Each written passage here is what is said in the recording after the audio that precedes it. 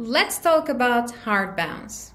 An email that has been returned to the sender due to a persistent issue, most commonly an incorrect address, is known as a hard bounce.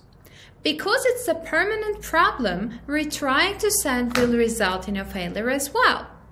As repeated hard bounces could affect the sender's reputation badly, they need to be cleaned from your email list immediately. Don't forget to like the video and subscribe for more. See you next time.